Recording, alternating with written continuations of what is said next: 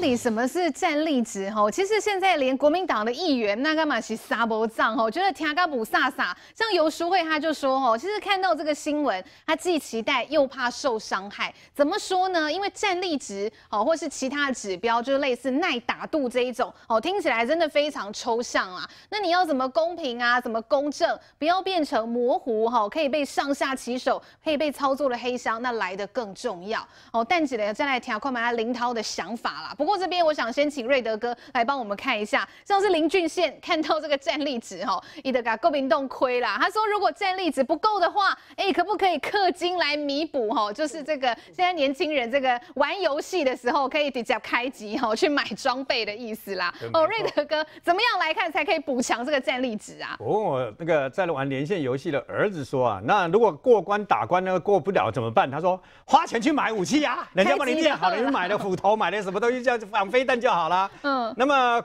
国民党现在就是天下大乱啊！为什么呢？因为呢，从徐小新开始的这个一连串要挑战费鸿泰开始啊，那么兵兵变变到处出来的这些，其实年轻人，那么那你要这个出来挑战，我觉得没有什么不好啊，对不对？我觉得也蛮好的嘛，啊，对不对？你有自己本身啊，议议员做了做了一段时间的议员以后，你要做得出来啊，对不对？那我旁边的李坤城也是啊，放弃选议员，直接选立委，我觉得这样蛮好的啊。那可是问题就在这个地方。那么事实上呢，你现在国民党陷入一个大。你现在那个战力值到底是什么？大概要五煞煞。我告诉各位啦，我第一个联想到的是，我父母在生的时候呢，因为生病了干嘛的？八士量表，国民党的八士量表。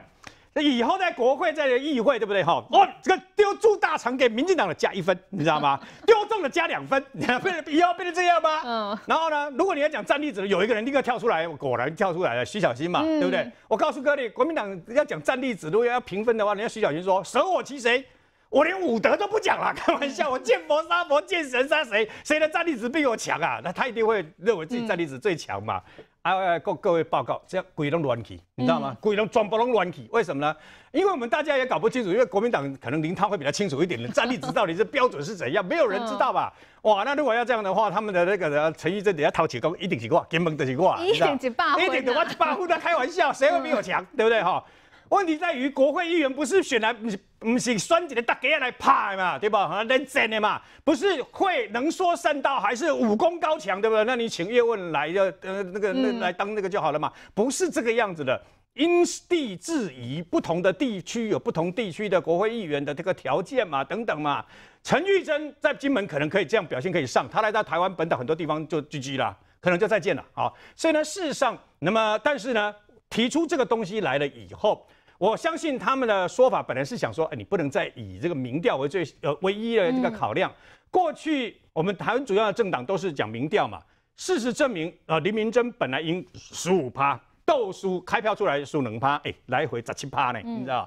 所以呢，他们认为民调不能是不是不能是唯一考量。蔡政也也这样讲，王金平也这样讲，他们都看到了民调的那种迷失，基本上看起来说，哦，好像好高的，结果。呃，与时俱减，然后砰砰砰砰砰，最后跌落神坛嘛。那侯友谊现在不是这个样子吗？不然这几天再做民调看看，这几天做侯友谊的民调看看嘛，看看他的战力值剩下多少。这侯友谊啊，他刚对吧？哈，呵呵这台机，呵呵这台，你看他战力值会不会一直下降嘛？哦，所以民进党这个等于说现在啊，定于大概差不多定于一尊。然后呢，啊，我觉得民进党这一次呢，包括这个党主席朱立伦还有相关的团队呢，很好，选选赢了，胜不骄，败不馁。国民党为什么会败？因为骄兵必败。从去年底的十一月的这个胜选了以后，你可以发现那种骄傲。南宫小拜伯罗皮个故三个月啊，三个月人啊，马雄人民选民就教训你，而且是从最不可能的南投来教训你，你知道这很可怕。这非常可怕的原因是选民越来越现实。你俩做不好啊，是你工啊，你不能老是这个站着茅坑不拉屎等等啊，那他就改变成真换人，你知道吗？换人做做看也没什么不好。所以从这件事情里面呢，也国民党自己本身也应该要深自检讨。万梦丽啦，如果三个月前国民党喊的说全国最大党教训民进党是真的，为什么三个月后是教训你国民党？嗯，为什么是教训你国民党？请告诉我答案是什么啊？那当然，至于侯友谊为什么被骂，自己去反攻，自省检讨。我这个等于说，呃，这个这几天听叶元之还在讲说，侯友谊认为说这个呃不一定非我不可，你那种态度让人家更觉得说，好像一副好像大家一定要拱你上去一样，好像没有你国民党就完蛋，二零二四年就再见了这样子一样嘛。我相信有很多人会出来承担那个责任，不过。那么虽然是国民党的家务事，不过不要忘记，国民党是百年政党，也曾经呃长期执政过。他们的动向，他们的这个总统大选或是立法委员啊的出现的这个方式，也攸关中华民国的未来。这也是我们讨论的一个重点呐。不过，那么可能没有办法，这里教教训一下这个国民党的主席朱立伦呐。不要只会用抹黑跟造谣的字眼，没有效。你用那些，要不然就用恫吓的，什么票投国民党，对不对？哈，什么青年上战场这一套，在现在这一次的南投已经没有效。你再用这套没有效，那如果这样的话，我就直接请问你嘛，票投国民党送你火葬场不是吗？你问问新竹县人。你问问新竹县，问问彰化县，问问这些人嘛，连个南投，连个垃圾场当了八年，李明珍当八年的县长都没办法解决，还要去骂人家竹山人嘛？所以竹山人为什么这次反弹那么大嘛？哦，所以国民党最应该做的，我告诉各位，那么在这三个月里面呢，还有从这次的南投选战里面，让我深深的感感受，为什么呢？同样是败选，民进党反省自己，民进党做了多少改革？哦，同样是败选。国民党检讨别人，你有没有发现，国民党主席在骂，是因为动用国家机器？那么，我们国民党的南投县这个等于说，呃，县长许淑华在骂，是因为名嘴抹黑，不是名嘴这样子一天到晚在大方向等等嘛？然后林明珍说，我无枪无无子弹，拜托哎，南投是你们在执政哎，你们在执政，县长都请三天假了，你们没枪没子弹，你们有大炮而已，你们的大炮就是直接把人家蔡培慧的布条全部都扯掉，你知道吗？那事实上告诉你有用吗？没有用。现在老百姓明智大开，后来还干脆跟人家怎么讲？后来还说不要看电视哦，你以为闭上眼睛就以为看不见，捂住耳朵就以为听不到吗？错，只有站在人民的立场，真正为人民好，选民才会站在你那边。朱立伦有个外号叫做精算师，哈，可能现在大家都想问他，哎，在立法院丢水球可以加几分呢？丢猪内脏有没有再额外再加码再加分呢？好，除此之外，哈，我也要来请教林涛，因为这个巧心感觉听到这个战力值，他是蛮开心的感觉。哦，昨天在脸书上也是乐乐等瞎子批，好说未来他会提出新一代的人才培育计划，哦，领导下个世代继续向上发展，哦，非常愿意配合党中央哦来接受红军模。模式的灵魂拷问，我这个字都蛮犀利的啦。我来请教一下领导，哎，这个红军模式，恭喜在我是跨博三五啦吼。不会不会有人想要帮他打什么分数啦哈。嗯，我觉得回头看，就是说，你刚才主持人提到说朱立伦是精算师，我觉得他已经卸任精算师了。为什么？哎，那个有功没赏，打破要赔。从去年二零二二的九合一大选。之前都是这样，每一个县市骂他骂的要死，说你怎么提这个人，怎么会没有按照标准？桃园赢了，二零二二九合一选举大赢了，后来黄敏惠的这个选举也赢了，王宏威的补选也赢了，一步一脚印，他任邦任怨，反正你你要你要骂我，给你去骂嘛，可是我一步一步赢嘛，我四四场战役里面我赢了三场，我一次失败。我们看到，当时候民进党九合一大选完之后，也没有具体检讨，才会一路这个败下来。这一次呃有调整才会赢嘛。所以我说，这一次的国民党在这一次的南投的选战败选了，嗯，马上检讨，嗯，因为我们发现，不管是在台北的补选，还是在南投的补选。不管你你是空战还是陆战，过去的版就是选举的方式，现在都只有热战，嗯，所以才会有所谓战力值的这一件事情出现。啊，那实质内容对，那其实战力值一上报这文章就写得很清楚，他说整个国民党的这个提名的机制跟四年前是一样的，就是你完全优势选区没有争议、没有竞争者的地方，就是直接提名、禁止提名嘛。那你的优势选区。你有竞争者，竞争者去讨论一个初选的方法，两个有共识，那我们就按照那个方式。那监棍选区再由党中来做征召，这其实就四年前完完全全非常清楚的初选的方式。嗯，所以没有所谓，就是说战力值要怎么算分数，因为战力值他那有时会啊，那个因为上报里面写的很清楚，战力值就是一个方向，希望国民党未来的提名是往这个方向嘛。所以我说这个同党的议员呢，有几个议员啊，哎。过去大局条款无中生有，你跑出来讲说啊，党中央我怎么家暴？现在你觉得这个条款好像你可以加分，你又跑出来，所以我觉得哦，从现在开始，不管你们这些人到最后有没有通过这个初选的办法了。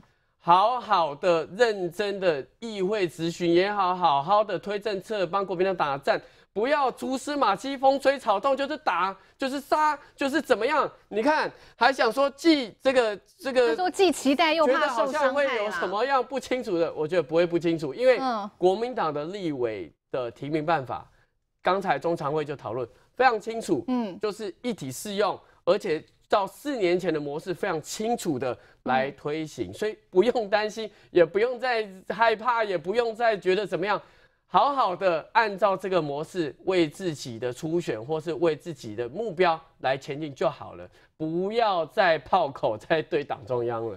来，这个今天昆城议员在这边哦，议员之后也是要接受这个民进党立委初选的考验啊！哈，哎，民进党跟国民党的办法是搭为 level 赶快。那民进党今天哦，听说也是要来讨论，哎，优势选区啦，或艰困选区，哎，是不是有做什么分别跟区别呢？来，议员来帮我们补充一下。呃，其实民进党就是有一套初选制度了哈。那这个初选制度呢，这个不会因为说呃谁当党主席，或者说谁的力量声音比较大，那就整个游戏规则都不一样了。哈、那其实今天民进党的中执会不会讨论？那主要是先确认哈我们的监困选区了哈，因为过去我们监困选区都是排在比较后面，然后再来讨论跟决定哈。可是既然是监困选区，必须要投入更多的时间跟精力嘛，所以这次我们就把它提前哈，让这个这个艰困选区能够先把这个名额先或是把人选先确定，大家先到艰困选区哈啊，先去努力，啊，先去蹲点，先去作战。那除了这个之外呢，还会成立一个呃提名策略小组哈，就类似这个之前的选对会，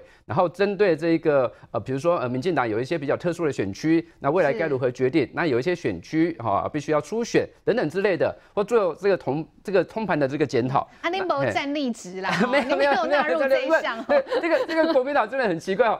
因为民进党就是说哈，我们就是呃先总统再立委哈，嗯因为也不是说因为现在总统大概定于一尊啊，就是说我们上次游戏规则也一样，就是先总统确定之后，然后再决定立委，那区域立委先决定，再决定不分区立委。那国民党就很奇怪啊，国民党他们是说啊，因为哈这个立委可能比较单纯，所以他们先立委，然后后总统。可是没想到这个立委哈，光是这个提出这个 战力值这个东西哈，哎，就是大家就吵翻天了哈，就炸锅了哈。那其实这个这个战力值要怎么去去把它量化，我觉得是个问题啊。你说民调可以量化，党员票可以量化嘛哈？那战力值怎么怎么去量化？就像我们打这个线上游戏哈，这个好像有一个什么一个。战总体的战力有什么智力啊、体力啊、和攻击力啊、防御力等等啊？但 我不晓得说国民党要怎么去把它这个东西做个量化。那什么叫战斗力？我觉得不要变成说后来只是这个鼓励大家走偏锋哦。我觉得其实像徐小新就有点走偏锋了，还 问说，哎、我这个什么杀神啊、杀佛之类的，我跟徐小新讲哈。你不要开心，好像觉得说，哎，这个战力值哈，这个战斗值对你好像有帮助，搞不好党中央就跟你讲说，对，徐小新哈，你最有战斗值，然后你最有战力值，去监困选区，啊，就派你去监困选区了，对，去台南好了。哎，这也是出奇招哎，毛所以可怜啦国哦。国民党的党中央其实花招很多啦。嗯国民党的初选制度就是没有制度了哈。我还记得哈，二零二二年他们的那个市议员的这个初选哈，还有一项规定，嗯就是说突然临时增加说，哎。谁对那个国民党的四大公投哈，哎，什么去助奖次数越多，哦好像办几场，哎，办几场哈，我就给你加分。是啊，但啊，有人就说，哎啊，之前你没有讲啊 你之前有讲，我可以去办呐。嗯 啊，你现在才规定说，啊，这个现在哈，如果有去办这个这个几场座谈会，我就加分，那就是特别这个后这个针对某些人嘛。那随时都会当盖。对啊，所以国民党这个这个东西哈，你看光是。这个立委哈，之前有这个大局条款哈，啊，现在这个这个战力值哈，啊，所以我讲吼，有时会要徐小青啊卖徐华义讲啊，这号对我有利哈，太好了，哦我跟你讲吼，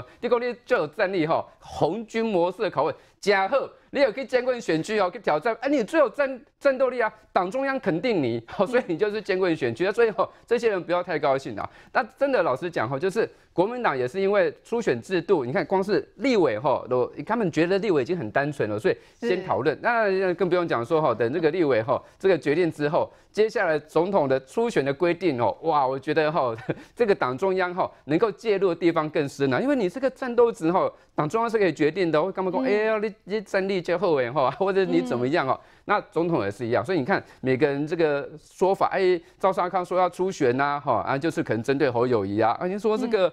这个还有谁？呃，连胜文他说，哎、这个他说不要初选，可是他不是他不要初选，不是针对这个侯友谊，他说希望郭台铭一起加入啦。哇，所以哈、每个人哈、心中的嘿心中的想法，他的 priority，他的优先对象哈，龙某一丁哈啊，嗯所以这个国民党可能会因为这样子哈继续乱下去。啊，民进党其实老实讲哈，就是初选制度就是很有这个原则，先总统，哎呀，这个后来再立委哈，那监困选区先决定了，要该出选的就出选，绝对不会有说什么这战力值哈，哎哎爱寡贼哈。